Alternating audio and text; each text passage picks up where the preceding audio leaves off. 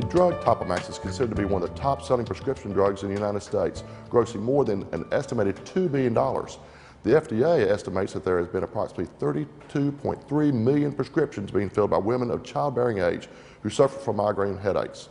Unfortunately, the drug has been linked to birth defects, including cleft lip, cleft palate, genital defects, and fetal and skeletal deformities. If your loved one took Topamax during the first trimester of pregnancy and had a baby born with a birth defect, we would be happy to talk to you to discuss your legal rights.